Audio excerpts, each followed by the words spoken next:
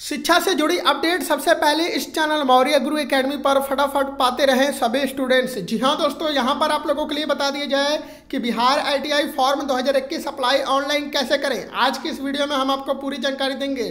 Bihar ITI form apply start हो चुका है पाँच जुलाई से।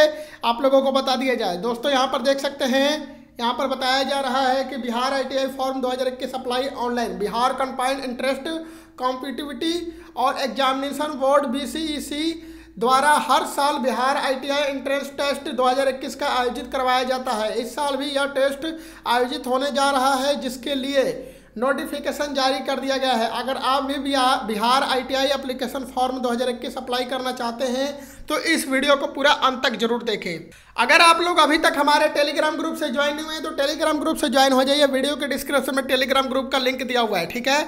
बिहार आईटीआई सीएटी एडमिशन 2021 के लिए सर्वप्रथम प्रवेश परीक्षा का आयोजन किया जाएगा, जिसके लिए अभ्यर्थी को ऑनलाइन आवेदन करना होगा। ऑनलाइन आवेदन के लिए रजिस्ट्रेशन करने की प्रारंभिक तिथि जो है पाँच जुलाई दो के अंतिम तिथि पाँच अगस्त 2021 तक निर्धारित किया गया है। यानी पाँच तक, पाँच जुलाई से स्टार्ट है और पाँच अगस्त तक जो है आप लोगों का डेट रखा गया है, ओके?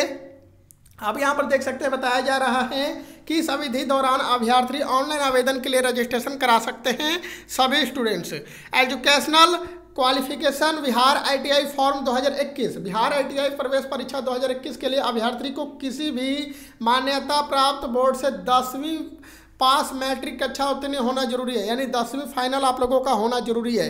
किसी भी बोर्ड से, चाहे आप बिहार बोर्ड है, यूपी बोर्ड है, राजस्थान बोर्ड है, मुंबई बोर्ड है, दिल्ली बोर्ड है, चाहे कोई भी बोर्ड है, आप जो भी बोर्ड से हैं, आप लोग, आप मतलब टेंथ पास होने चाहिए, ठीक है? यहाँ पर देखिए, बताया जा रहा है सब स्टूडेंट्स के लिए कि यहाँ पर आप लोगों को देखने को मिल रहा है।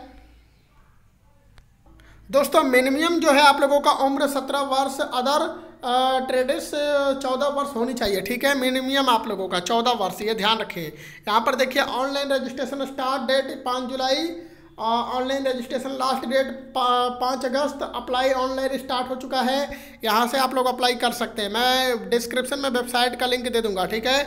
अप्लाई करने के लिए। देखिए, यहाँ पर साफ़ तौर पर क्या बताया जा रहा है कि जर्नल ओबीसी के लिए निर्धारित शुल्क साढ़े सात सौ रुपये, यहाँ पर देख सकते हैं।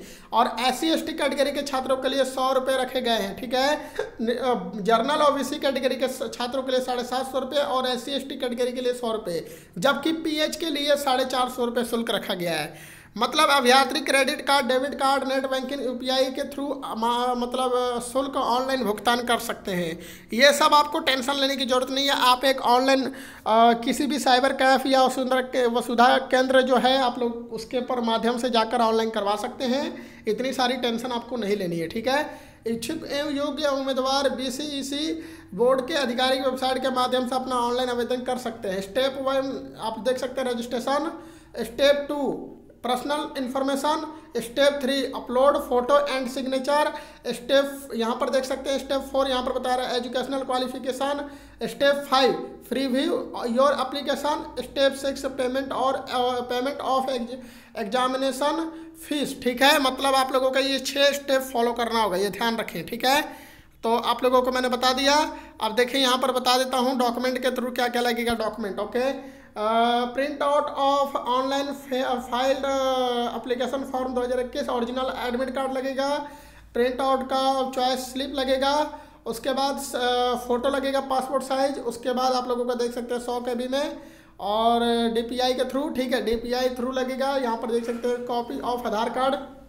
आपका आधार कार्ड लगेगा, जिसको जीरोक्स निकलवा लेना है आपको। ओरिजिनल मार्कशीट लगेगा। सर्टिफिकेट ठीक है। कास्ट सर्टिफिकेट यहाँ पर देख सकते हैं सिग्नेचर लगेगा, उसके बाद अदर अदर सर्टिफिकेट है तो दे दीजिएगा, नहीं तो कोई बात नहीं, ठीक है? ये सब लगेगा डॉक्यूमेंट उसके बाद आप लोगों का ऑनलाइन अप्लाई होगा। यहाँ पर देखिए, मैं ऑनलाइन अप्लाई के लिए मैं आप लोगों को बता दूँ कि लिंक वीडियो के डिस्क्रिप्शन में दे दूँगा, आप लोग क्लिक करें और आराम से अप्लाई कर सकते हैं। ये मैंने लिंक देखिए, मैं यहाँ पर कॉपी कर लेता हूँ। आपको मैंने कॉपी कर लिया। अगर आप लोग खुद से नहीं करना चाहते हैं तो कोई टेंशन लेने वाली बात नहीं है।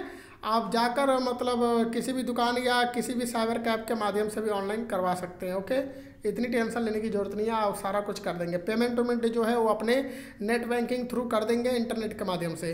तो सो गाइज़ आप लोगों को सिर्फ़ पेमेंट ले जाना है और डॉक्यूमेंट ले जाना है, बाकी सब वो कर देंगे, ओके?